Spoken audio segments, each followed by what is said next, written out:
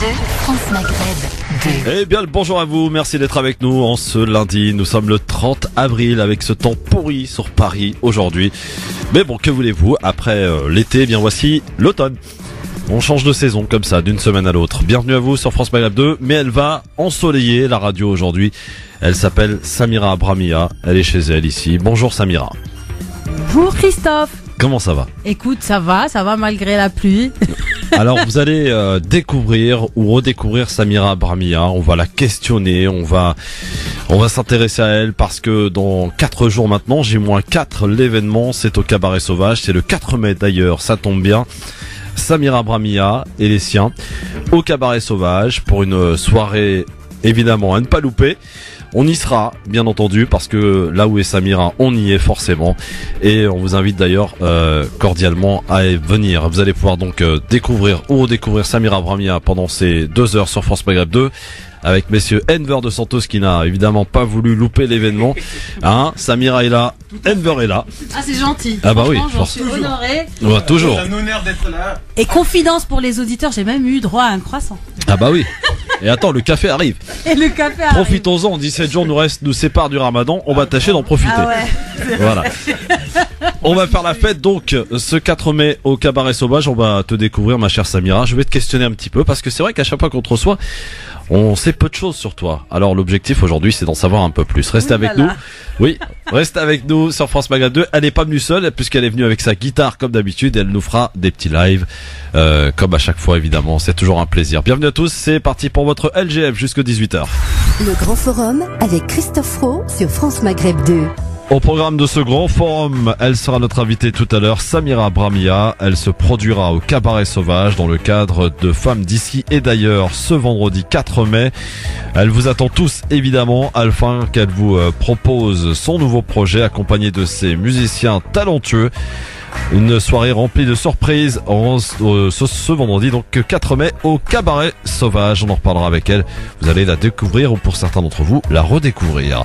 La question LGF aujourd'hui, euh, après la France, le Portugal, l'Italie, le Danemark, les Pays-Bas, la Belgique, la Serbie, Malte, le Luxembourg, la Turquie, la Géorgie, c'est au tour du pays voisin, l'Espagne, d'officialiser son soutien pour la candidature Maroc euh, pour la Coupe du Monde, l'organisation de la Coupe du Monde en 2026, où le sort sera fixé le 13 juin à l'issue d'un congrès de la FIFA.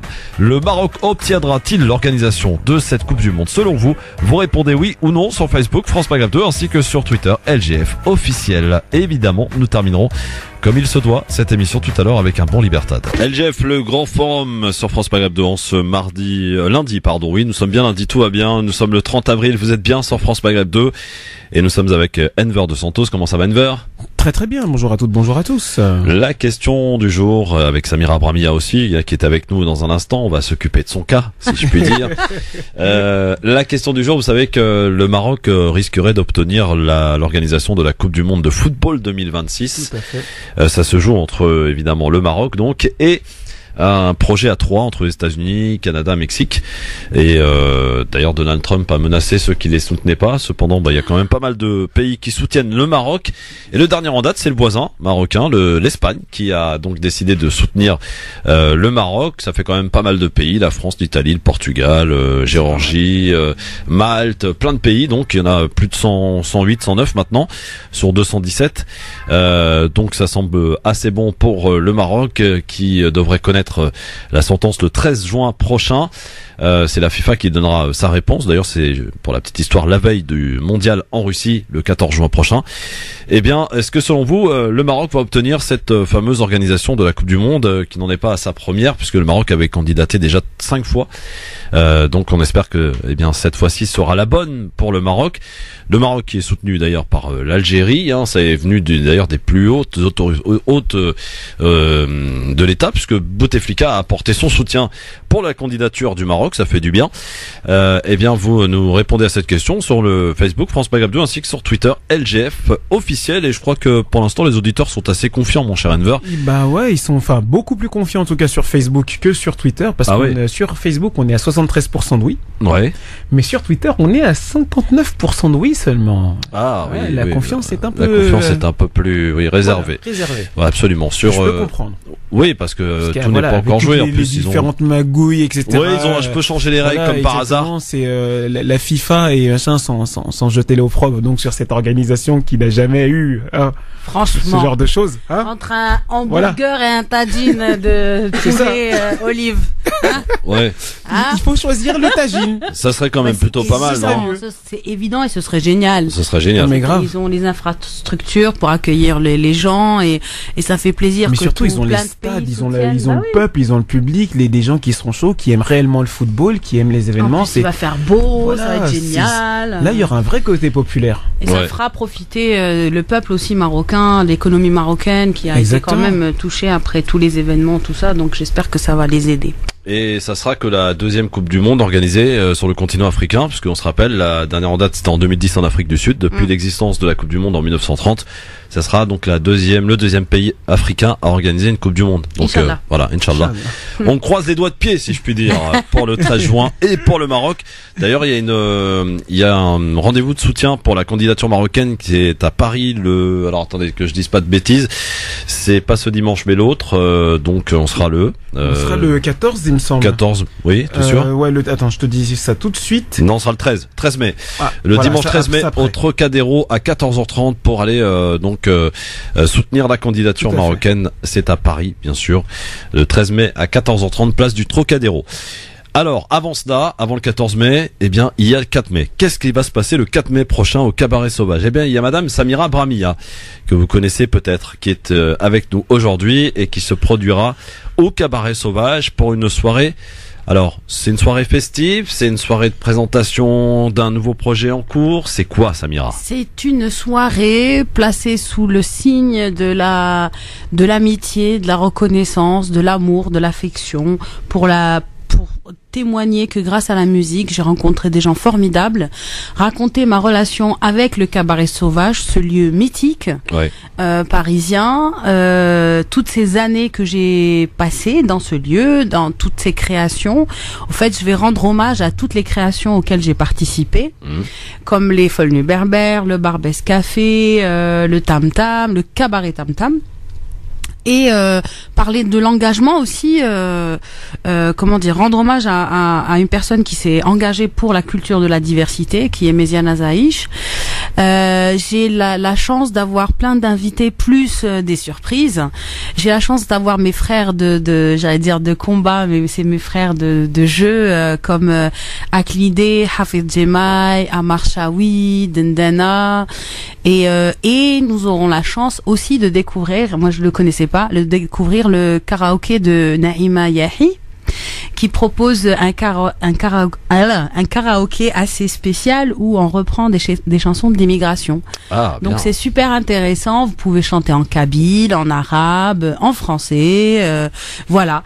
Donc euh, ça. Je pense qu'il y aura de l'émotion, Mhm. qu'il y aura de l'humour et qu'il y aura de la de, de la danse aussi.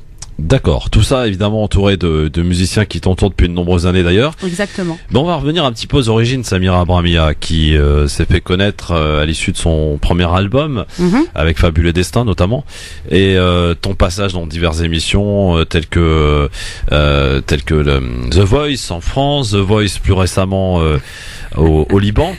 Euh, ça, c'est au Liban. hein. Oui, oui, pas de oui, bêtises, exactement. ouais. Non, non, parce qu'à chaque fois maintenant je sors une blague. L'année prochaine ça va être The Voice Brésil. Ah, Inch'Allah Brésil Non, non, je rigole. Enver, il va t'apprendre le portugais, tu vois, Ah, ça va bien se passer. Avec grand plaisir. Direct. Avec grand plaisir, on est chaud. Voilà. Todo ben. Todo Todo bem. ben. Tudo bem, tudo bem. Tudo bem. Tudo bem. Euh, alors Samira, Oui. euh, comment tout a commencé finalement euh, Comment en es-tu arrivé à la, à la chanson Le parcours? J'adore Christophe, j'adore dire que c'est mon père qui m'a forcé à faire de la musique, de la guitare. Et pour lui, l'arme d'un- d'une personne, c'était la culture. Mhm. Donc il m'a, il nous a toujours obligés à faire de la musique, à, apprendre le- l'anglais, à faire du sport. euh, euh, tu sais, même pendant les vacances, il nous faisait un truc que je, n'ose pas faire à mon fils. En fait, il regardait les programmes. Et il nous donnait euh, des, en devoir à regarder un documentaire qu'il avait sélectionné et il fallait faire le résumé du documentaire euh, quand il revenait du boulot. Donc euh, j'ai eu un père qui a été très très très très à cheval, euh, ma mère aussi d'ailleurs, euh, sur la- l'apprentissage, sur la culture. Et euh, il fut, enfin quand je suis arrivée à la fac, comme je pouvais pas transporter avec moi mon ma, mon piano parce que j'avais commencé par faire du piano à, à- dans une petite ville d'Algérie qui s'appelle euh, Elas Namchlef et euh, pour la fac je suis allée à Alger. Donc euh, j'avais pas mon piano et, et mon père qui est toujours aussi euh, volontaire je sais pas comment il s'est débrouillé mais il nous a trouvé euh, un prof de guitare ma sœur et moi qui venait tous les week-ends le matin genre l'équivalent du dimanche à 8 heures du matin Oui. pour prendre des cours de guitare et il fallait après appeler mon père qui n'était pas avec nous pour dire si on avait bien travaillé ou pas. J'avais 19 ans. hein. Ah oui. Pas mal, là. Et, euh, et la guitare m'a permis de rencontrer un super groupe qui s'appelait euh, Index. Ouais. Et c'était des potes qui faisaient euh, médecine, pharmacie. On était ça. où là? En Algérie? En Algérie, En toujours Algérie, en Algérie. ouais. Et euh, j'ai découvert un peu l'esprit de groupe, euh, faire euh, ce que ce que c'était de tenir un micro, de se brancher, de de ce que c'était un peu la scène. Après, j'en ai pas fait beaucoup des scènes avec eux parce que j'étais euh, j'étais enfin voilà, c'était un peu compliqué, c'était pendant la décennie noire, donc chaque Ouais. concert était un événement. Hmm. J'en ai fait genre deux peut-être. Une fois pour le Croissant Rouge, et il y avait un groupe de hard rock et euh, tu voyais les jeunes, c'était complètement, euh, c'était hallucinant de voir pendant euh, cette décennie noire euh, des des bancs de jeunes avec des cheveux longs en train de se jeter. Ah ouais. C'était trop drôle. Oui oui oui. Ouais, ouais, ouais, euh, et euh, et un deuxième concert qu'on avait fait, euh, voilà. Mais j'ai commencé à écrire et euh, grâce à un monsieur que j'ai eu au téléphone, euh, Monsieur Mohamed Ali Allalou, qu'on salue, euh, c'est grâce à lui une fois que j'ai écrit ma première chanson en, arabe. Parce qu'il m'avait dit euh, Samira voilà euh, euh, entre temps enfin entre les deux épisodes j'avais quand même euh, fait un casting où j'avais été prise pour un long métrage de Merzak Alouache parce que la rumeur euh, courait que c'était Gad Elmaleh qui devait jouer comme on était tous fans de Gad Elmaleh à Alger donc je suis allée j'ai écrit une chanson et là j'ai été prise pour jouer dans un film de Merzak Alouache et c'était un truc assez alambiqué où on comprenait pas ce que je faisais là mais c'est pas grave on m'avait peinte en noir euh, une chanteuse américaine qui va dans le sud algérien qui a une guitare c'est pas Ouais. grave ouais. et tout ça c'était c'était un film qui parlait du terrorisme donc je te voilà Ah oui, d'accord.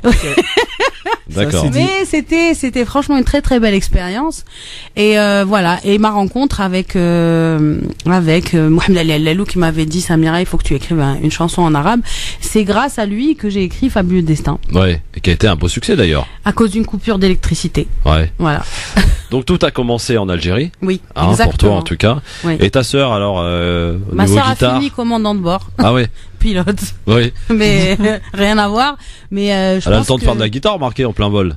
la pauvre je lui ai volé sa guitare et je l'ai donnée enfin elle a pas de guitare D'accord. Donc elle a. une, une sœur En plein vol, horrible ce serait dommage quand même. en plein vol ouais non ça va être compliqué Ouais, effectivement. non mais voilà Donc euh, en Algérie, euh, t'as commencé donc à, à, à écrire cette chanson en arabe Mhm.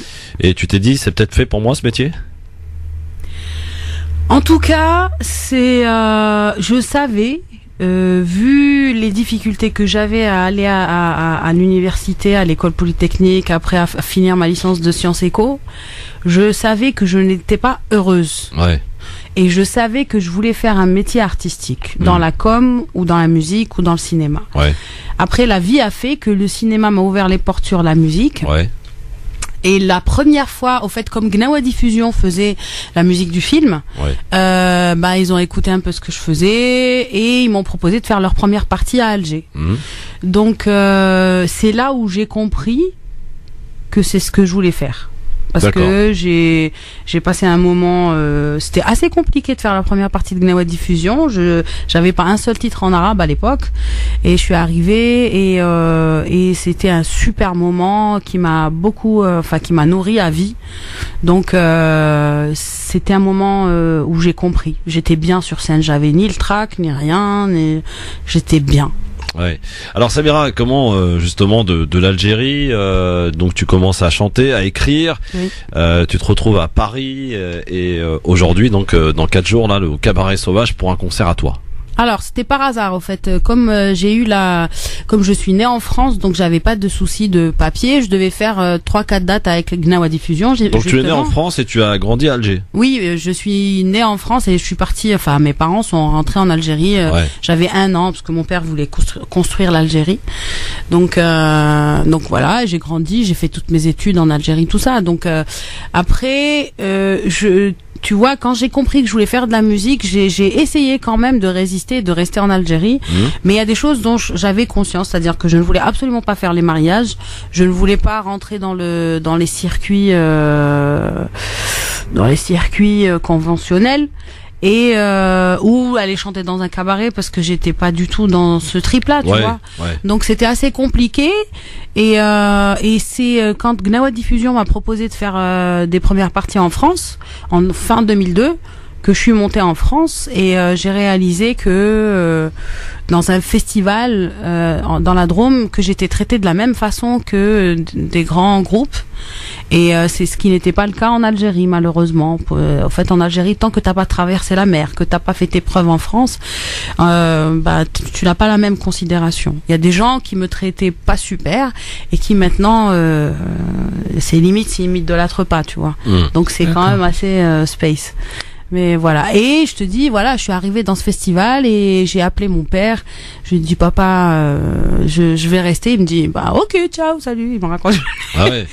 Alors c'est marrant parce que beaucoup de de- d'artistes aussi nous nous disent nous, euh, souvent que justement les, les parents ont eu un peu de mal à accepter le fait que euh, leur fille ou leur fils euh, fasse carrière dans la musique qui était pas très bien vu à l'époque notamment en Algérie euh. Moi, j'avais des, des copains carrément qui se mettaient des chèches sur la tête pour quand ils avaient des télés à faire ou quoi, parce que les parents, des garçons, hein, Ouais. qui voulaient pas, les parents ne voulaient absolument pas qu'ils fassent de la musique. Donc c'est assez compliqué.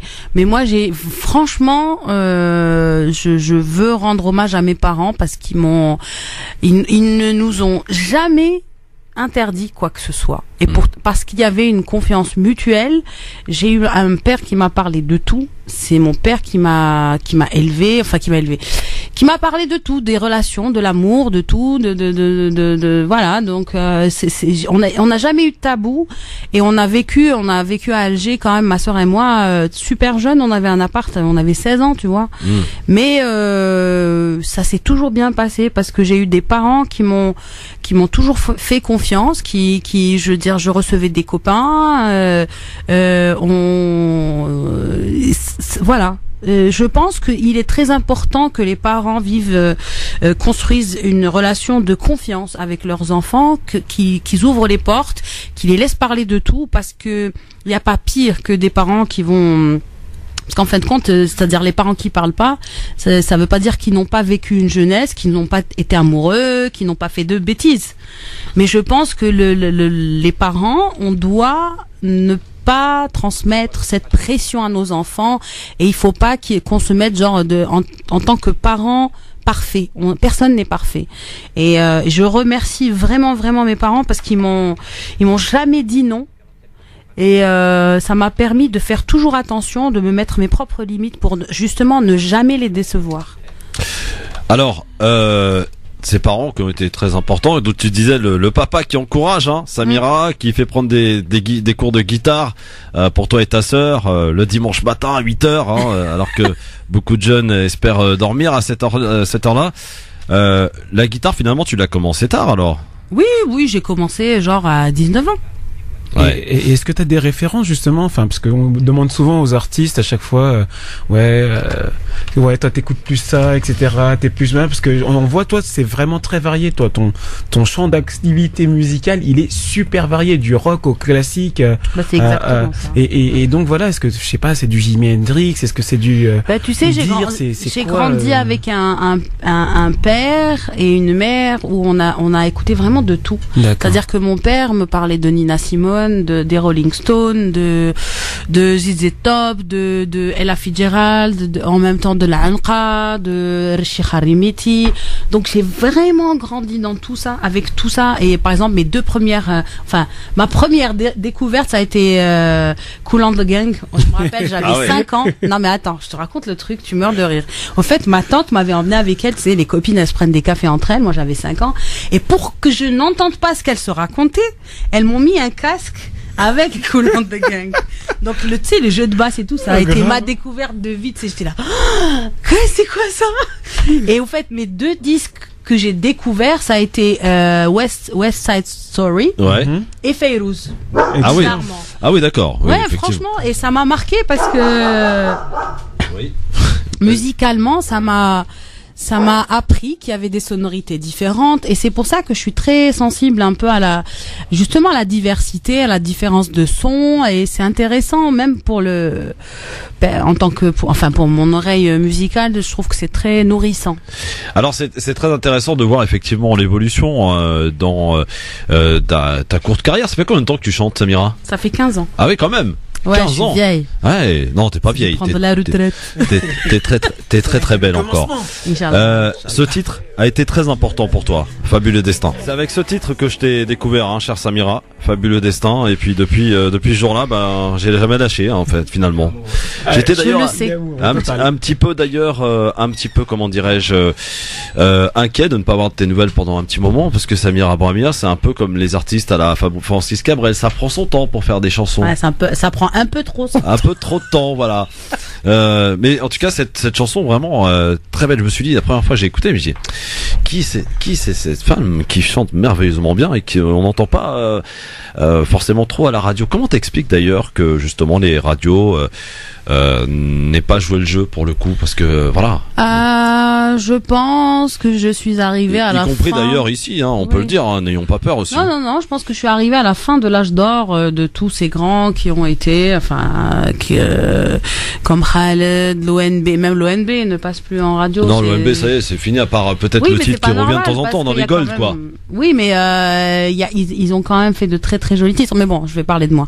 Oui, c'est là pour ça. non, non, mais c'est pas ça. C'est que euh, c'est vrai que moi je déplore, surtout par, par rapport aux radios euh, qui sont supposées être euh, un peu, on va dire, communautaires. Je trouve ça dommage et euh, qu'il y ait plus de hum, de titres validés par les maisons de disques Hmm. que par des artistes. je parle pas que de moi. hein.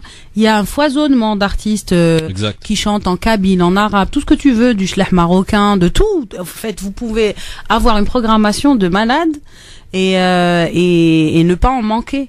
Et je trouve ça dommage parce que de l'autre côté, les autres médias euh, qui sont euh, plus euh, francophones, tout ça, eh ben n'exercent pas le, le, le, le, le rapport de réciprocité. Hmm. Et c'est vrai que moi, euh, de plus en plus maintenant, je me révolte contre ça. Euh, quand on me reproche, par exemple, de d'avoir fait The Voice euh, Liban et The Voice On te France, reproche? Oui, des fois on me dit, bah écoutez, on comprend pas, vous êtes une star, comment ça se fait? En Algérie, on vous adore, comment vous allez vous mettre, euh, comment vous, vous vous acceptez de vous faire juger par des gens qui qui n'ont pas votre talent, truc. Après moi, je sais pas moi de juger le talent ou pas, mais euh, ce que je leur explique, c'est que on n'a pas cette ouverture de médias, nous. Mm. Je veux dire, même les gens qui sont signés dans des, des, des majors et tout ça, c'est très très très compliqué. Dès que ça parle arabe, dès que c'est euh, différent, dès que ça rentre pas dans le moule, ben c'est ça passe pas. Et vous n'êtes pas aidé par les vôtres? On n'est pas aidé par les nôtres. Euh, bon après heureusement que t'es là Christophe.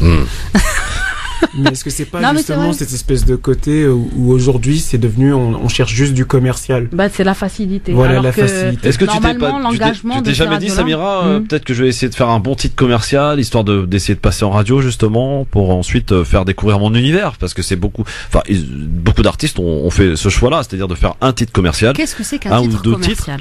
Bah, je sais pas. Après, c'est vous les artistes, hein, c'est pas moi. Hein. Là est la question. Est-ce que, euh, je sais pas moi, est-ce que euh, euh, les titres de, de, de- des Dire Straits c'était des titres commerciaux? Ah non, mais non, mais non, on a une autre époque là. Non, non, non, non, non, non. euh, Dites-moi. Ouais. Bah, à ce Oui. bah, à ce moment-là, je vais répondre Voilà. à ta question. Peut-être, Ouais. tu- à ce moment-là, tu me diras. Malheureusement, on vit dans, dans, dans une société où il- les gens ils sont sur le paraître et sur les Oui. un peu les voilà les, les références. Bah forcément, dès que tu vas chanter une musique euh, maghrébine ou africaine, c'est le soleil. Oui. Alors peut-être justement pourquoi ne pas faire une musique commerciale, euh, la musique de l'été? Tu vois? Parce que toi, tu, tu chantes tous les jours, justement, Maghreb, Ouais. tu chantes tous les jours, ça fait partie de toi, ça fait partie de ton cœur, ça fait partie de ta passion.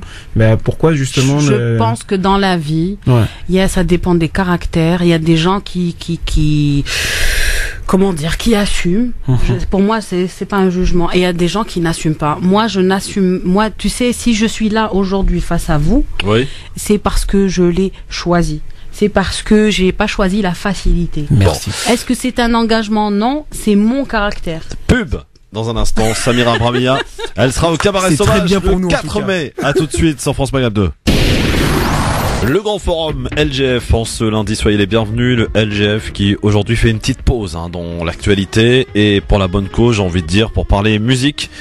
Et qui mieux que Samira Bramia aujourd'hui pour nous euh, parler de musique. On a, on va, on a tenté de faire connaissance un petit peu avec Samira, euh, avec son univers musical, avec euh, son début de carrière qui a débuté donc euh, en Algérie. Samira est née en France, a grandi en Algérie euh, avec un père qui a insisté pour que Samira euh, prenne et sa sœur d'ailleurs prennent des cours de guitare, ce qu'elle a fait.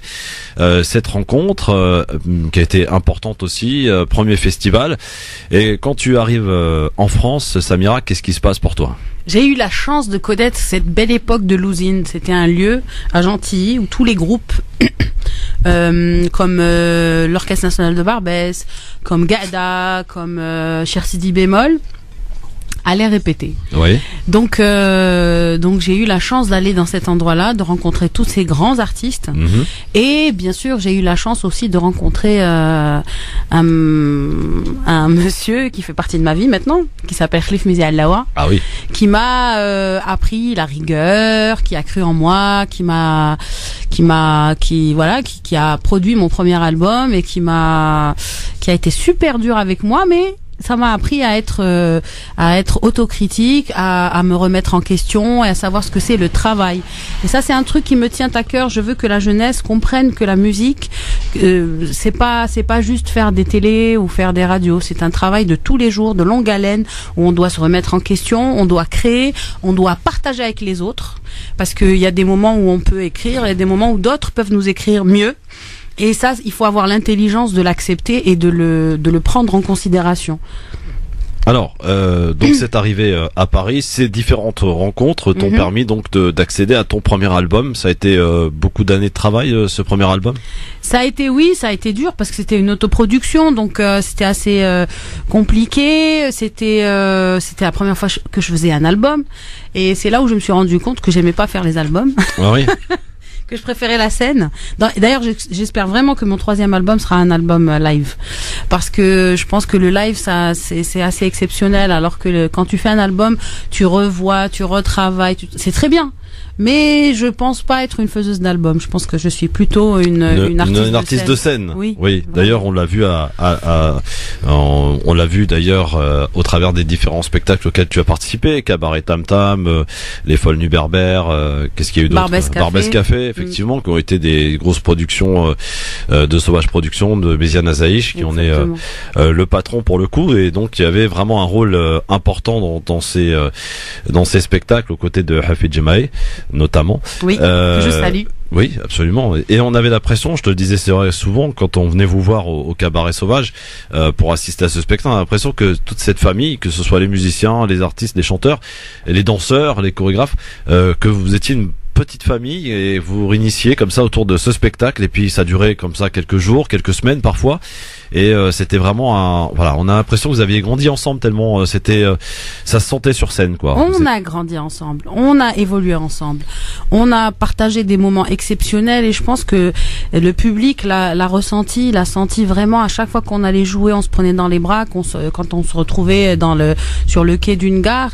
Et à chaque fois qu'on allait dans une salle, les programmateurs étaient super étonnés que ça se passe super bien entre nous, qu'on se prenne dans les bras, qu'on rigole.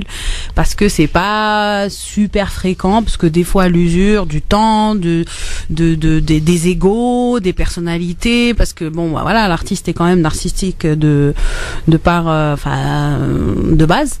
ouais Donc euh, des fois c'est compliqué mais euh, je voudrais saluer aussi le talent d'un grand monsieur qui s'appelle Nasreddin Dalil qui Ah était oui. à la direction musicale ouais c'est en grande partie grâce à lui aussi que ça s'est très très bien passé parce qu'il a il avait l'intelligence de travailler sur un une cohésion de nous proposer des titres euh, euh, avec beaucoup de, de liberté de de- d'interprétation. Et euh, ça ne peut que qu'épanouir l'artiste. C'est-à-dire qu'il n'y a pas d'exigence euh, il y a une exigence sur le sur la qualité. Mais on avait une liberté de proposition qui était là.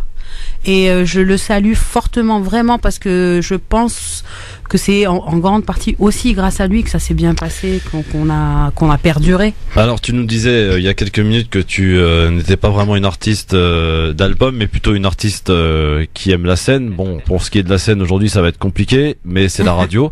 Il y a quand même quelques milliers d'auditeurs qui nous écoutent actuellement et qui nous disent bon, on écoute Samira, on l'a écouté euh, justement extrait de son album, mais Samira Bramia, elle est aussi accompagnée de sa guitare et ça donne euh, parfois des choses magiques avec Samira Bramia comme en voici pour preuve. Voilà, elle va la sortir cette guitare.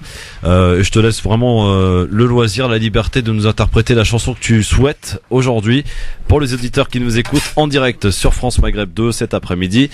Euh, Samira Bramia, qui je le rappelle, se produira au Cabaret Sauvage ce vendredi 4 mai. N'hésitez pas à réserver vos places en www.cabaretsauvage.com, mais aussi dans tous les réseaux habituels, bien sûr, pour aller euh, passer une magnifique soirée. Il y aura beaucoup de surprises, beaucoup d'invités surprises et des musiciens de talent qui vont accompagner Samira et vous allez euh, pouvoir en avoir la preuve. Samira Bramia, c'est vraiment une artiste de scène à découvrir. Pour ceux qui ne la connaissent pas encore, la voici en direct sur France Maghreb 2 dans le Grand Forum. Eh, vous comprenez pourquoi je suis tombé amoureux maintenant, hein Voilà. Euh, Samira Bramia à l'instant sur France Maghreb 2 en live. Cette chanson, euh, c'est quoi cette chanson, Samira? C'est une chanson que j'adore, qui est de, qui a été chantée par euh, Youssef Boukla sur Ouais. son premier seul album malheureusement. Et j'adore la chanter parce que elle mélange la spiritualité et l'amour. Parce que la spiri- la, quand on, je pense, hein, quand on croit en Dieu, on aime. Et, euh, et pour moi, c'est ça l'essentiel. euh, de- C'est le- cette relation avec le spirituel, avec beaucoup de douceur et d'amour. Ouais.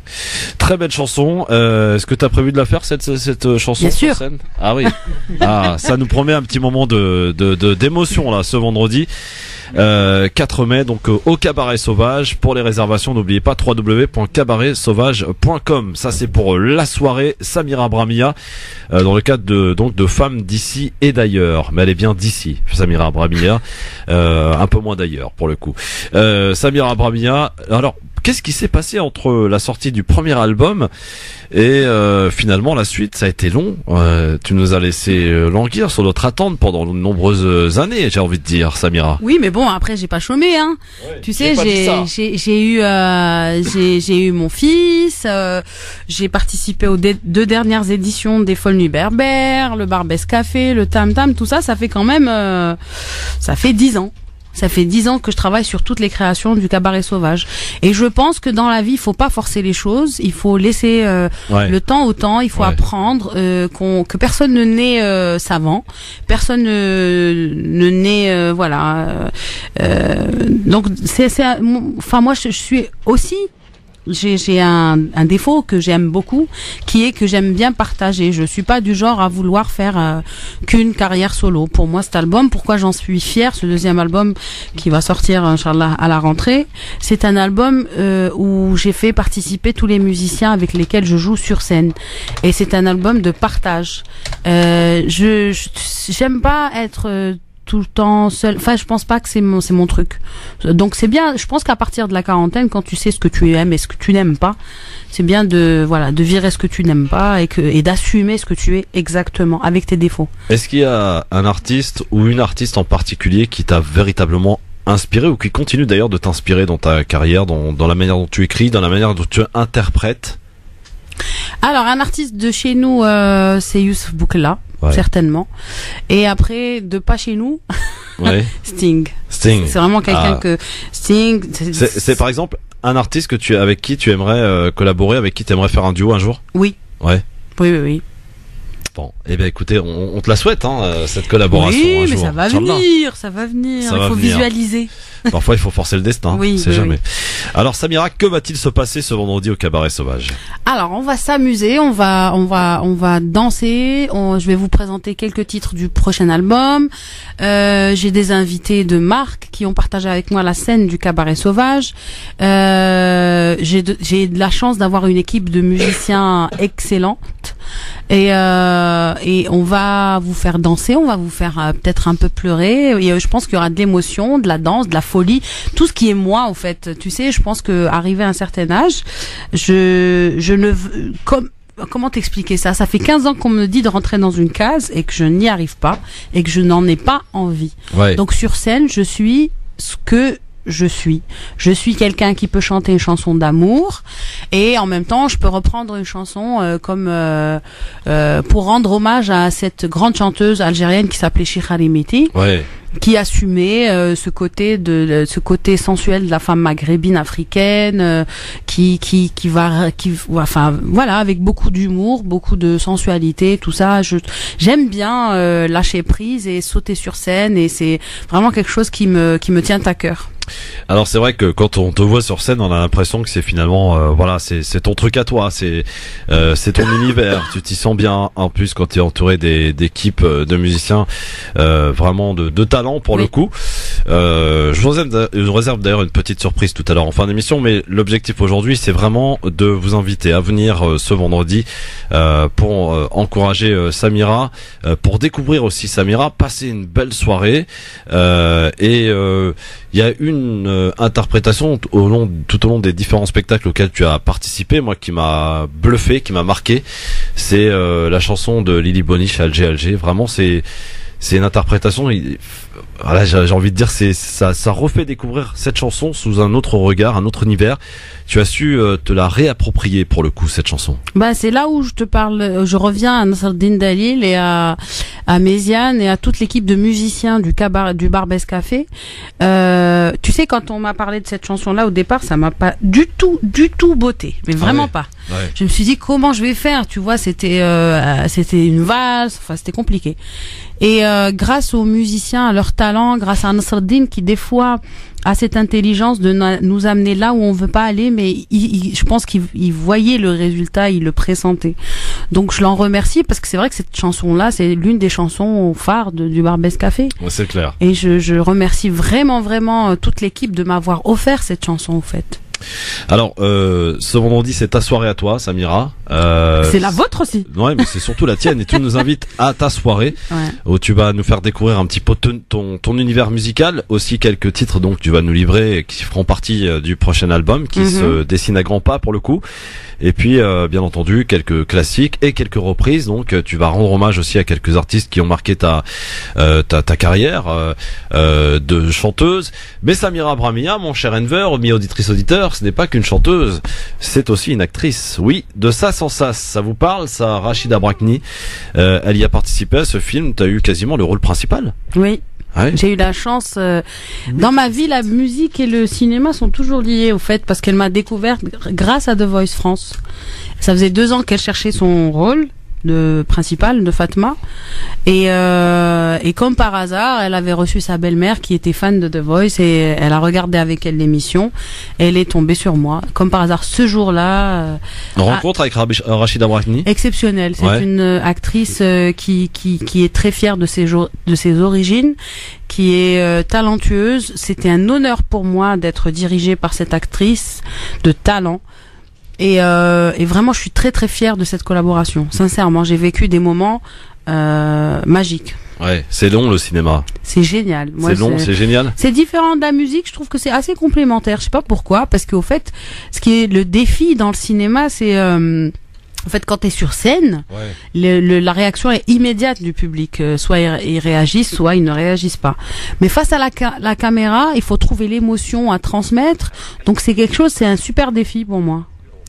Alors, Euh, Enver, c'est un film qui a pas été euh, malheureusement euh, distribué partout. oui. Malheureusement. Ouais, c'est c'est dommage. Comment on l'explique ça d'ailleurs euh, Pourquoi euh, Pourtant Rachida Brakni, elle, a elle est très connue. Je veux dire, c'est pas c'est pas une actrice euh, qu'on découvre. euh, pourtant avec ce film de ça sans ça, ce qui était Un film, rappelons-le, c'est quoi l'histoire Le, c'est, c'est euh, donc ça se passe dans le Bah, milieu carcéral, c'est dans la prison. ça soulève des questions et je pense qu'ils plaisent pas trop et qui se, qui Ouais, embarrassent et euh, C'est un, c'est un voix, c'est c'est un peu de ça. C'est euh, le, le fait que le sujet soit très sensible. Après, c'est aussi euh, ça, Rachida Brakni est, est, est une artiste, enfin une artiste et une comédienne engagée. oui. On le sait. Euh, elle, comme justement euh, ses proches, euh, voilà, on va pas rentrer non plus dans le, le détail de sa vie privée, mais sont des gens qui sont toujours très très engagés, qui fait qu'on sait comment ça se passe dans ce système. À partir du moment où malheureusement, bah voilà, tu vas avoir telle ou telle position, il est difficile de te soutenir. Il est difficile de te soutenir et c'est vrai que voilà, c'est à nous public ensuite de d'aller euh, rechercher, de faire la demande, que ce soit vraiment mis en avant. C'est un film que j'aurais adoré euh, voir passer dans les lycées et les collèges parce Voilà. que je trouve qu'il y a une histoire de de- d'empathie que que peuvent. C'est un film qui peut créer de l'empathie des enfants envers leurs parents et euh, ne pas les mettre dans des situations embarrassantes parce que au fait il faut pas oublier que le quand euh, on est en prison ben nos parents aussi le sont Mm. un peu en quelque sorte Alors, tu sais pas s'il y a une chaîne de télé qui risque de le passer un de ces quatre ou euh, alors là je peux pas te dire tout ça tu sais c'est c'est compliqué Alors, Quand vous regardez YouTube, vous tapez Samira Bramia. Il y a un truc qui m'a interpellé, c'est une Kabyle qui chante dans The Voice. Samira Bramia, tu es Kabyle? Tu me l'aurais, Mon caché m'a toujours dit qu'on était tous des berbères. Je pense qu'il faut pas renier ses origines, que voilà, la berbérité fait partie de mon histoire. Malheureusement, je ne parle pas euh, le kabyle, mais je, je vais tout faire pour le faire, pour apprendre le kabyle, parce que je le ressens de plus en plus euh, ce, ce désir fort en moi de, de de compléter mon identité au fait. Et pourtant, et pourtant, c'est bel et bien en Kabyle que tu as interprété une chanson dans The Voice au Liban. Il fallait oser, il fallait le faire et tu l'as fait. Écoutez, extrait. France Maghreb 2, France Maghreb 2. LGF sur France Maghreb 2 avec Samira Bramia qui est avec nous. On parle de ce concert, de ce... Oui, c'est quoi? C'est un concert C'est un spectacle C'est quoi? C'est un concert événement. Un concert événement. Donc qui aura lieu ce 4 mai au Cabaret Sauvage. Euh, dans le cadre... Pourquoi on a appelé ça Femmes d'ici et d'ailleurs d'ailleurs? Euh, bah c'est dans le cadre de la manifestation de la Philharmonie Ouais. qui euh, qui organise une exposition et euh, et je pense que c'est une façon de mettre en valeur euh, de rendre hommage à toute cette musique qui vient d'ailleurs. Ouais. Alors il y aura des musiciens avec toi, hein, évidemment sur Oui. scène, euh, qui euh, t'entourent depuis de nombreuses années, qui jouent avec toi, Oui. euh, qui sont vraiment tes, tes partenaires pour le coup. Je peux les citer? Ah ben, évidemment, tu sais que j'adore rendre hommage en plus aux, aux musiciens. Oui, alors j'aurai euh, Karim Ziad à la batterie, Hicham Takaout à la basse, Khalif Mizaalawa à la guitare, Mehdi Ziwouch au clavier et euh, je, voulais pas le mettre juste en tant que musicien, j'ai un invité que j'aime beaucoup, pour lequel j'ai beaucoup d'affection, qui est Amar Chaoui. Euh, c'est un grand percussionniste que que j'ai enfin voilà on se connaît depuis 15 ans Ouais. et euh, on a partagé plein de choses ensemble et je trouve ça formidable de de l'avoir ce soir-là pour célébrer. euh, voilà, ce que je voulais te dire, c'est un concert où je vais me mettre en spectacle. Ouais. Ah, ça, ça va durer combien de temps, Samira? Oh, euh, alors il y a un karaoké dont euh, voilà le karaoké dont je te parlais, ce sera au début, donc il durera une bonne demi-heure. Après, euh, ça va être un spectacle d'une C'est heure et histoire de chauffer la salle, quoi, c'est ça? Oui, en Ouais. plus euh, c'est une femme euh, Naïma Yahi est une est une femme que je, je, je comment dire que je respecte beaucoup qui est qui est qui a beaucoup fait pour la musique, la recherche sur la- l'apport de la musique et de l'immigration. Ouais. Donc euh, pour moi c'est très intéressant de partager la scène avec euh, cette euh, cette grande dame et euh, elle a entre autres aussi collaboré sur euh, le Barbès Café. Euh, elle connaît l'histoire de chaque chanson maghrébine, c'est hallucinant. C'est c'est une femme qui est très très importante par rapport à la, à la musique maghrébine. Et le fait de se retrouver comme ça sur scène, euh, dans un endroit en plus qui est un peu chez toi. Alors raconte-nous cette histoire d'ailleurs avec euh, le cabaret sauvage, cette rencontre. Alors le cabaret sauvage ça a commencé en 2003. Ouais. Euh, j'étais venue, en, enfin, je, je me suis installée en France fin 2002 et euh, et il y avait un, un festival qui s'appelait Festival Voix de Femmes d'Algérie Ouais. qui a, qui était organisé en 2003, donc euh, j'étais programmée et j'ai connu ce lieu magique euh, lors de ce festival qui m'a permis de rencontrer plein de médias, plein de presse, euh, qui m'a permis d'être connue. euh, Enfin, ça a été une soirée mémorable pour moi. Euh, et, et, et après, au fait, je- j'ai, j'ai par exemple assisté à la à des concerts comme ceux de l'Orchestre national de Barbès, dans- et c'est un lieu dans lequel aussi j'ai eu la chance de faire la première partie de de ce groupe-là à deux reprises, tu vois. Ouais. Donc euh, et un jour, euh, tu sais, il y a un truc dont dont j'aimerais parler, c'est il y a un, un, un fait qui est qui est quand même euh, signifiant qui est que euh, quand on est artiste, quand on est femme, dès qu'on a un enfant, les gens croient que ton métier s'arrête ou je sais pas que voilà, t'es plus artiste parce Ouais. que t'es maman. Qui fait que le téléphone commençait à, à, à moins sonner. Ouais. Donc j'ai pris rendez-vous avec Méziane Mhm. et euh, je suis allée le voir en tant qu'adulte. Tu sais, c'était la première fois où j'allais proposer mes services de chanteuse.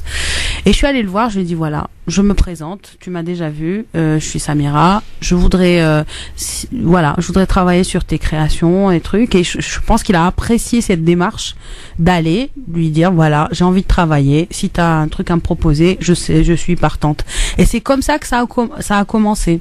Et pour tout te dire, on a fait les Folles Nuits Berbères, après on a fait le Barbès Café. Pour le Tam Tam, Méziane voulait absolument changer de chanteuse, pas parce qu'on s'entendait pas ou quoi, parce que je pense qu'il avait peur que le public se lasse, tu vois, c'est ça peut ça peut être euh, Ouais. lassant. Ouais. Et, euh, et au fur et à mesure qu'il appelait les musiciens, qu'il commençait à travailler sur le répertoire et tout, il m'a appelé le jour de mon anniversaire. Il me dit Samira, il faut que je te vois. Et, euh, et moi, c'était pas du tout pour moi euh, problématique. C'est-à-dire que qui m'appelle pas sur, c'est normal. Il y a de la place pour tout le monde.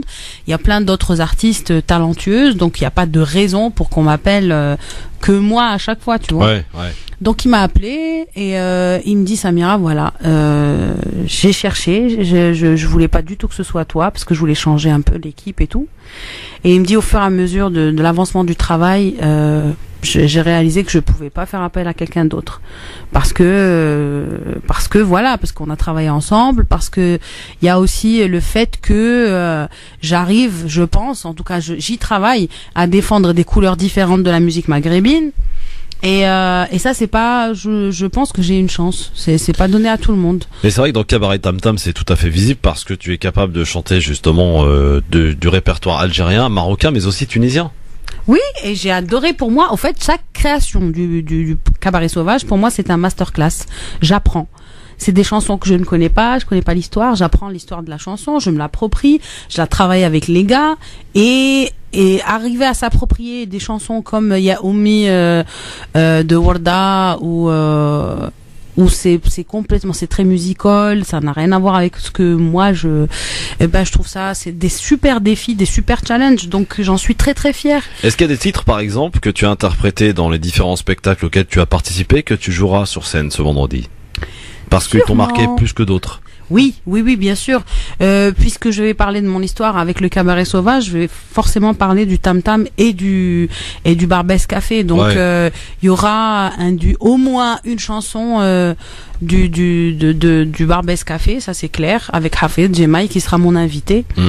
Et euh, c'est un honneur de partager la scène avec lui. Et c'est vraiment pour moi, c'est voilà, ça fait dix ans qu'on travaille ensemble. Donc euh, Mais comment expliquer, Samira, que ces artistes dont tu t'entoures et euh, que l'on connaît, hein, euh, Enver, euh, que ce soit Hafid, euh, Hafid Jemaé, il y a, il y, a, il y a Samia Diar, il y a euh, Nassim qu'on qu'on connaît, comment ça se fait que ces, ces, ces artistes-là restent, j'allais dire, dans l'ombre du grand public?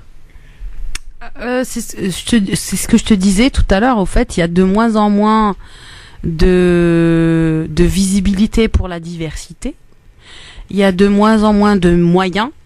Et il y a, il y a un, un comment dire, euh, c'est la crise aussi. Il faut pas oublier qu'il y a une crise qui est là. Donc, euh, euh, il y a, tu sais, il y a plein de festivals qui ont disparu. Donc, Ouais. il y a moins de possibilités. Tous les festivals cherchent que des têtes d'affiche Hmm. il y a plus de prise de risque.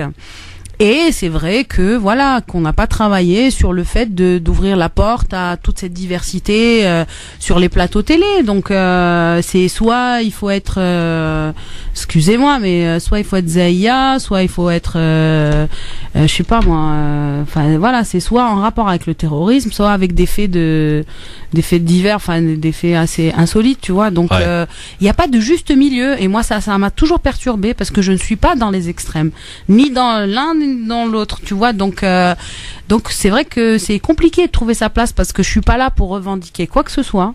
Je suis là juste pour vivre euh, ma vie et pour euh, essayer de, de, de, de, créer une place. À, mon fils dans cette société, tu vois. Donc et ce qui est malheureux, c'est que en France et pas que en France, bah si t'es pas dans l'insolite, dans l'extrême, ben tu crées pas l'événement. Donc les ça n'intéresse pas les médias Hmm. de dire j'ai envie de trouver, de créer une place à mon fils euh, dans la société civile, j'ai envie de travailler dans la dans le partage et dans la douceur. Bah ça c'est pas c'est pas c'est pas voilà c'est pas Alors, ton fils, Samira, Oui. parce que tu as un enfant, oui un joli petit garçon, oui il est fan de sa maman? Ah oui Ouais. Tu sais, une fois, il me disait, ah, j'en ai marre, t'es jamais là. Je lui dis, bon, bah, voici, j'arrête. Franchement, si tu veux que j'arrête, pour toi, j'arrêterai. Et il a commencé à pleurer. Non, je veux pas que t'arrêtes. Mais je suis très fière de lui parce que tu vois, j'essaye, euh, de par nos valeurs, de par euh, le fait qu'il rencontre plein de gens différents. Tu vois, par exemple, je regardais avec lui, euh, j'essaye de lui transmettre ce que m'a transmis mon père et je voulais absolument qu'il regarde un truc sur les migrants et, et leur passe, enfin, leur voyage très périlleux. Des fois, quand ils passent par les Alpes, ben, c'est, ça peut être très dangereux pour leur vie. Ouais. Et euh, il y en a qui, qui perdent des membres et tout. Et tu vois, et ben, il a regardé ce, ce documentaire avec moi et il m'a dit, maman, demain, je donne rendez-vous à mes copains au collège. Je vais essayer de créer une loi contre la discrimination et pour laisser les migrants, truc, je sais pas quoi. Et j'ai trouvé ça, euh, bah, je me dis que c'est super de si, c'est super si, euh, si j'ai, si j'arrive à transmettre cette conscience à mon fils et cette liberté aussi d'expression, c'est-à-dire de ne pas rester dans le s'enfermer, se dire ah ouais non mais les autres ils ont pas raison et moi j'ai raison.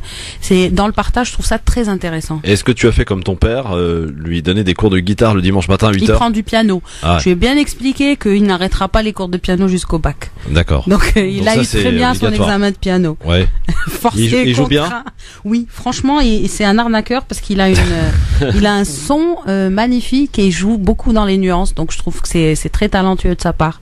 Mais c'est un fainéant comme moi un peu. Est-ce qu'il euh, t'arrive, est-ce qu'il vous arrive, euh, est-ce qu'il t'accompagne comme ça, toi à la guitare, euh, Il fait lui au du piano cajon grâce à tonton Amar qui lui a ramené une derbouka, un cajon, des carcabous. Il, joue des fois au cajon avec moi. Et, Ouais. euh, et on essaye de partager des trucs, mais c'est vrai qu'en ce moment, comme je cours un peu partout, j'ai pas trop trop le loisir de Ouais. profiter de mon fils. C'est un bonheur de jouer avec son fils? C'est une fierté. Ouais. C'est une fierté. C'était un enfant qui, qui quand même qui a grandi dans la musique, qui a grandi sur scène avec Aklidé, avec Cheb Khaled, avec l'ONB, avec les Folles Berbères, avec tous ces gens-là.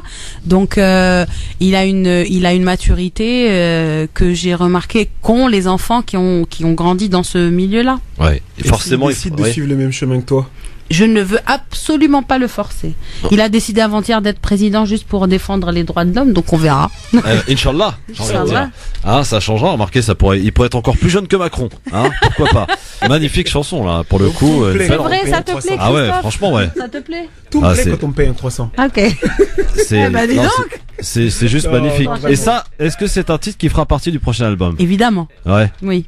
Avec grand plaisir. On va, on va ainsi découvrir finalement dans cet album toute la diversité, euh, toute la richesse qui te, qui te nourrit musicalement, euh, Samira. Ben écoute, voilà, ce que je dis, j'aime pas me faire euh, enfermer moi dans une case et je suis très nostalgique des années euh, 70 où il y avait des émissions comme ça de musical où tu voyais Johnny chanter une chanson d'Aznavour, Aznavour chanter une chanson de je sais pas quoi d'Eddie Mitchell et et ils faisaient des duos et ils se mettaient en danger et personne ne se prenait au sérieux. Ouais. Je trouve ça dommage que qu'on soit maintenant euh, ah une chanteuse de R&B doit rester dans le R&B, une chanteuse euh, qui s'appelle Samira Bramia doit chanter en arabe euh, sans surtout pas avec des claviers électriques ou je sais pas quoi. Attention, Mmh, hein, il faut que ça reste dans la tradition. Donc je trouve ça dommage. Moi, je, je, c'est pas mon truc. Je, je veux aller où, tu vois, ce titre-là, on l'a construit avec Mehdi avec Khalif. euh, on a essayé, changé, échangé, et on, voilà, c'est, c'est, euh, venu. euh, ça a été beaucoup, beaucoup de travail, et j'en suis super fière. Vous l'avez compris, messieurs dames. Franchement, vous voulez découvrir une véritable artiste avec vraiment un talent euh, qui s'appelle Samira Bramia. C'est ce vendredi au Cabaret Sauvage. C'est un bel endroit. Vous allez y passer un bon moment. On s'y sent très vite chez soi quand on entre dans ce très bel endroit qu'est le Cabaret Sauvage, qui est en plein milieu du parc de la Villette. Et euh, vous allez pouvoir euh, apprécier justement toute cette. euh, j'ai j'ai envie de dire que cet endroit vous nous permet d'être euh, euh, de créer une espèce de relation qu'on ne trouve nulle part ailleurs entre le public et l'artiste. On a que l'impression c'est que l'artiste joue là, tu vois, au milieu du public euh, pratiquement. Ah ouais, ouais, Voilà. parfaitement. C'est c'est vraiment un lieu pour moi magique où le temps s'arrête et euh, et c'est c'est c'est enfin je sais pas c'est est-ce que c'est le l'effet du bois? C'est une salle hein parce que des fois quand on entend cabaret les gens disent ah oui, ouais un oui, oui, cabaret. c'est vrai. En fait, c'est Ah, pas du tout un cabaret, c'est une salle de spectacle euh, faite de bois, de velours rouge, de miroirs, et c'est un lieu magique où plein de gens ont, ont joué, et euh, c'est un honneur pour moi de, de me de me produire dans cette salle mythique, et j'espère que voilà que ça sera pas la dernière fois. Alors avant le dernier live de cette émission, parce que le temps passe très très vite, d'abord je vous incite et vous invite vraiment, vous avez envie de passer une belle soirée euh, en famille, entre amis, euh, l'occasion de sortir, je sais pas, avec votre fiancé, avec votre mari, avec votre femme. Vos enfants, tout vos enfants, parce qu'ils sont évidemment les bienvenus. Ils vont s'amuser, ils vont s'éclater sur la belle piste du cabaret sauvage avec euh, tous ces artistes euh, qui seront là, accompagnant euh, Samira Bramia. C'est ta soirée, c'est à toi euh, que l'on va rendre honneur ce vendredi 4 mai. Ça commence à quelle heure d'ailleurs? J'ai oublié de demander l'heure. 19h ouverture 19 des heures. portes. 19h, soyez là. Oui. Évidemment, c'est une soirée qui se promet festive, mais en même temps caractérisée par beaucoup d'émotions, comme vous l'avez pu l'entendre. Mm. Alors, on a écouté Samira il y a quelques temps avec un extrait de ce prochain album qui sortira à la rentrée, nous a-t-elle dit bah, Samira Bramia, c'est aussi ça. C'est vraiment exceptionnel. On l'a vu d'ailleurs à la soirée de Londa, c'était euh, au début du mois, hein, je crois. Ouais. Euh, voilà, donc euh, Enver était de la partie et pour le coup, il a quand il a écouté cette chanson il y a quelques minutes là, il disait franchement en live c'est c'est une tuerie. Et c'est vrai, il a raison. Je suppose qu'on ne passera pas à côté ce vendredi pour cette chanson en tout cas. Ah bah non. C'est- obligé. Voilà. Et je précise aussi que tu seras dans l'émission euh, annuelle de, de la nuit du Ramadan, ce Oui. qui passe tous les ans euh, pendant le mois du Ramadan sur France 2. Voilà, tu y as interprété euh, quelques chansons, c'est une deux Une chanson, une chanson. pour rendre hommage à toute cette euh, ces, ces gens qui ont construit la France. Alors ce qui est regrettable, c'est que cette émission passe très tard le soir. Oui. voilà, ça passe vers une Et heure en du plus, moi, matin. je suis la dernière à passer. En plus, donc être patient. Mais c'est pas grave, c'est le ramadan, on aura le temps. Oui. Bon, alors dernier live, et en vous rappelant et en vous invitant vraiment à les réserver, on vous incite vraiment à les réserver, à aller encourager cet artiste. On y sera, on va se croiser là-bas au Cabaret Sauvage ce 4 mai, vendredi soir, pour la soirée de Samira Bramia, à ne pas louper, mesdames, messieurs, www.cabaretsauvage.com, mais aussi euh, dans tous les points de vente habituels, vous pouvez évidemment acheter votre place, encourager, parce que ça le mérite vraiment. Ça, elle, le vaut, elle le vaut bien, comme on dit. Et en voici pour preuve pour ce dernier live qu'elle nous propose en direct sur France Maghreb 2 dans le grand forum. Samira, Samira Bramia.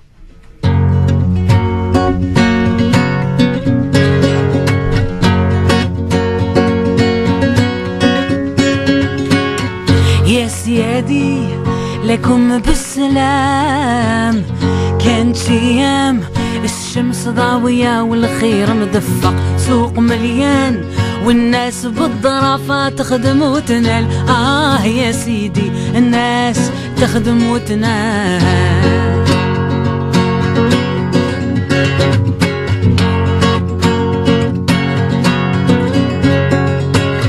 بسات نبس جور جيك جيك والعيون. تسيل الناس معقول من الفن والعلوم وشي ما يخفاشي زادي في قصور بالموسيقى والهوى والساقي زاهي. آه يا سيدي وقلوب سلمى تتبسم الغرام دارت العوام وتغيرت الحوال. تعام نجرات صدم يخرب ما خلى صحراء وشمال. خلفت البلاد الفن والعلوم جميع فنات. آه يا سيدي خفات أيام الخير أشهد اللي صار. شي مكتوب ولا متعمد من عندك شي كسان سرد لولو شيطان يا ربي مولاي يا مولانا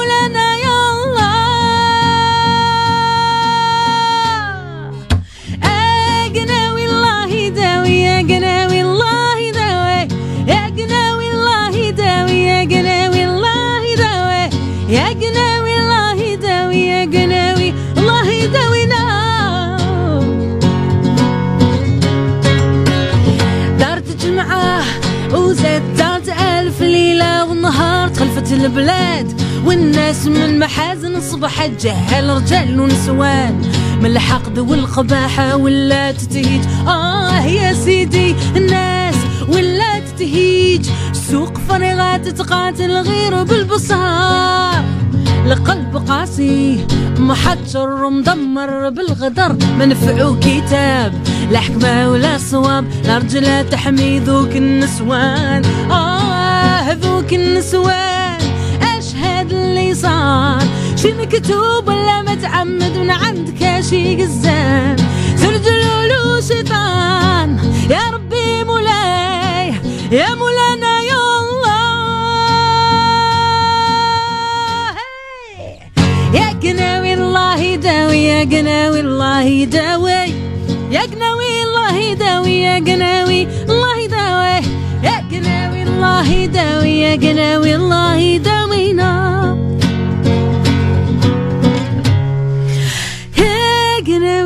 الله يداوي يا قناوي الله يداوي يا قناوي الله يداوي يا قناوي الله يداوي يا قناوي الله يداوي يا قناوي الله يداوي الله يداوي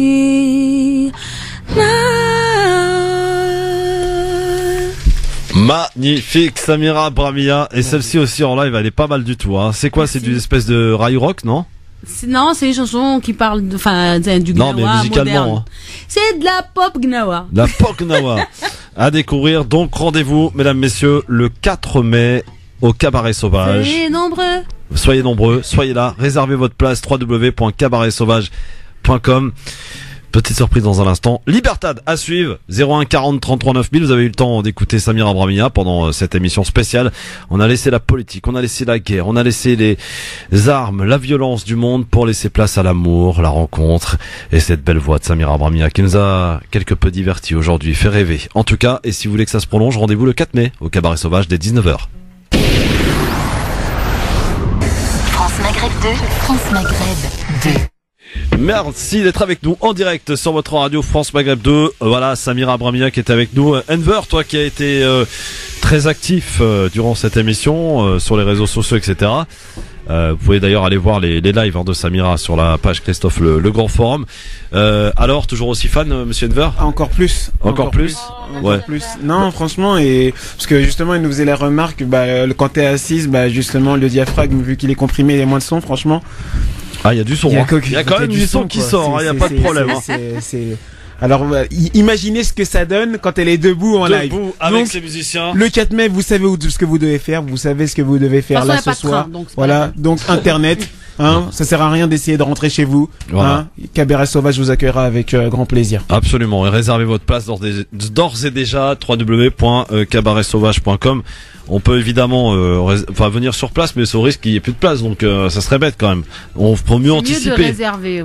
Ce sera plus ça. gérable Donc- pour tout le monde. C'est mieux. Eh ben oui, c'est beaucoup mieux. En tout cas, n'hési- n'hésitez pas. Euh, ça se passe donc le euh, eh bien euh, 4 mai au Cabaret Sauvage dans le cadre donc de femmes d'ici et d'ailleurs. Vous allez ainsi y découvrir euh, Samira euh, Bramia sur France Maghreb 2. Elle était avec nous. C'est parti maintenant pour euh, eh bien le Libertad. Alors que mon ordinateur vient de me planter, c'est génial. Eh bien c'est pas grave, cela va pas nous empêcher de euh, eh bien vous accueillir tout de suite pour eh bien le Libertad 01 40 33 9000. Alors Libertad c'est quoi? C'est euh, eh bien les auditeurs qui nous appellent. Je ne sais pas qui ils sont ni ce qu'ils vont nous dire. Alors parfois ça nous réserve quelques surprises, des bonnes comme des mauvaises parfois. 01 40 33 9000 00 033 1 40 33 9000. Tu nous appelles d'Alger, de Tunis, de New York, de Paris, de Marseille, partout en France. Eh bien appelle-nous, prends la parole. C'est maintenant que ça se passe. Allô, bonjour, qui est là? Oui, Christophe, bonjour, Kamel à l'appareil. Bonjour Kamel, Bonjour, bienvenue à toi. bonjour à vous tous. Alors moi, je voudrais tout simplement dire que moi, j'apprécie depuis de longues années euh, Samira pour l'avoir entendu ici et là. Mais ce que je veux dire, euh, c'est pas venir euh, cirer les chaussures là, c'est tout simplement dire que j'apprécie énormément le supplément d'âme qu'elle amène lorsqu'elle chante et la diversité des choses qu'elle euh, qu'elle produit sont d'un intérêt. Tout à l'heure, que j'entendais ce cette musique un peu euh, cette musique un peu malienne, un peu, Un peu euh, africaine, ouais, pour le coup. avec- euh, comment? Un peu africaine, quoi, très oui, africaine. non, mais très africaine. Et j'ai apprécié d'ailleurs qu'elle te, qu'elle te dise qu'elle est africaine. Bien sûr, nous sommes des Africains. Euh, africains, arabos, berbéros, musulmans, etc., etc. Et c'est très important aujourd'hui de le souligner, de savoir d'où l'on, vient pour savoir où l'on va. Et elle, le- elle le souligne admirablement. Et ce que j'aime chez ces femmes, ces guerrières qu'elles sont, ces chanteuses, celles qui transmettent cette douceur, euh, celle de la mer et tout ça, moi, elle me fait voyager à chaque fois Je connais un peu son parcours. Je sais qu'elle a beaucoup ramé. Et j'ai apprécié la manière dont elle a parlé de son fils. Vraiment, c'est un amour. Et tu transmets tout ça très bien, Samira. Sache que je veillerai, puisque je suis dans le sud actuellement, à être vendredi présent. Et voilà, j'invite tout le monde à venir et justement à Wow. faire en sorte Ah, que ces musiques puissent véhiculer et puis nous transporter, contrairement Merci, Kamel. C'est Kamel, ça super me gentil. touche. Et c'est Voilà. des paroles comme les tiennes qui me permettent d'avancer. Merci, à bientôt. Merci, on se voit vendredi alors Kamel, hein. Vendredi, Inch'Allah. Je Bon. suis là actuellement dans le sud. Je rentre mercredi. Jeudi, je viens avec ma femme et mon fils de 7 ans. Non, c'est pas jeudi, c'est vendredi, hein. Fais gaffe, hein. si tu te trompes d'un jour, tu risques de te tromper. C'est vendredi. As- Faut bien réserver le vendredi, billet. Tu as dit vendredi, c'est bien Oui, ça. vendredi 4 mai. Vendredi. 4 mai au Ouais. cabaret. Il n'y a Voilà. pas de souci. 4 mai au cabaret. Eh Salut bien, à tous. comme, comme ça, tu me présenteras ta, ta femme alors. Merci Au Kamel. revoir. Salut Kamel. Voilà, il y sera. Magnifique comme témoignage. 01 Franchement, c'est très émouvant. 40 33 9000. On y sera tous bien sûr ce vendredi 4 mai au cabaret sauvage pour euh, aller euh, passer une belle soirée et euh, partager ce, moment de découverte avec Samira Abramia qui sera avec vous, avec nous ce soir-là au cabaret sauvage. Franchement, venez, vous allez passer une belle bête de soirée comme on dit chez les jeunes. Ça va être une soirée de ouf avec de, vrais musiciens, des talentueux, bien sûr des professionnels qui accompagnent Samira. Euh, 01 40 33 9000, allô qui est là Salut, c'est Youssef et Francis. Salut Youssef, qu'est-ce qu'il y a? Vous pensez vraiment que le Maroc va organiser la Coupe du Monde? Vous êtes vraiment des doux rêveurs. hein. La Coupe du Monde, ça va être aux États-Unis, moi je vous le dis. hein. Ah ouais, pourquoi? Euh, Parce que la FIFA, il faut l'alternance. Un pays, une fois chez le- les Africains, une Ouais. fois chez les Américains, et en 2022, ça va être au Qatar. Tu crois vraiment que la FIFA va donner deux fois un pays arabe? Bah espérons Youssef, Pourquoi t'as pas envie de rêver toi Youssef tu, attends, tu te souviens l'exemple de la Grèce en 2004 Ouais, Ils ont organisé les JO, et ça fait 15 ans qu'ils fait la crise à cause de ça. ouais c'est vrai. Moi, je pense que c'est mieux pour le Maroc que ça soit aux États-Unis. Bon, d'accord. Merci Youssef, c'est ton avis que je respecte, enfin je respecte mais je ne partage pas. Même si Trump a, a menacé, il paraît les pays qui allaient pas soutenir les États-Unis, il les a menacés. Bon, euh, 01 40 33 9000 Je évidemment. parle de Trump. hein. Même Oui. pour une Coupe du Monde, il, évidemment. il menace. Allô, bonjour. Oui, bonjour. C'est pour passer l'antenne. Ouais, t'es en direct, ton prénom? Oui, bonjour. C'est Karim. Salut Karim, tu nous appelles d'où Karim? J'appelle de Nanterre. On t'écoute Karim, qu'est-ce qu'il y a Karim. Tout ça pour dire que j'espère que le Maroc euh, va pouvoir euh, gagner pour la Coupe du Monde, hein, pour qu'on puisse la dérouler chez nous. Donc euh, voilà, je partage pas l'avis de l'auditeur. Donc euh, j'espère que ça va être à notre faveur. Eh simplement. écoute, Inch'Allah comme on dit chez nous. Merci Inch'Allah, beaucoup Karim. Merci aux frères algériens, tunisiens, etc. Tous ceux qui vont soutenir le Maroc. Merci Karim. Bon, gagner la Coupe du Monde, c'est peut-être un peu rêvé, mais en tout cas, euh, vous y participez, c'est déjà très bien. 18h, le flash tout de suite, Marie Guérel. Merci à tous, merci Samira, à très vite. Merci. Bonne soirée. Bonsoir. à tous. Le meurtrier présumé d'Angélique va être présenté à un juge d'instruction en vue de sa probable mise en examen. Une information judiciaire pour séquestration, viol et meurtre sur mineur a été ouverte. L'homme de 45 ans vivait dans le même immeuble que la famille d'Angélique jusqu'à il y a deux ans. Il avait été condamné pour viol sur mineur en 1996 et respecté globalement depuis les obligations liées à son fichage au fichier des délinquants sexuels. Retour à la table des négociations pour les syndicats et la direction d'Air France cet après-midi à Roissy. Les syndicats qui restent fermes sur leurs revendications, 5,1% d'augmentation immédiate des salaires. Pendant trois jours, Édouard Philippe et la plupart de ses conseillers à Matignon se délocalisent dans le Cher, département qu'ils vont sillonner de mercredi à vendredi. Un important volet économique est notamment prévu avec la visite de plusieurs entreprises. Les bloqueurs du site de Sancier de l'Université Paris 3 évacués ce matin. Les forces de l'ordre ont vidé les lieux de la cinquantaine de personnes mobilisées contre la réforme de l'accès à la fac. Les manifestants veulent riposter à cette évacuation. Ils appellent à un rassemblement à l'entrée du campus à 18h.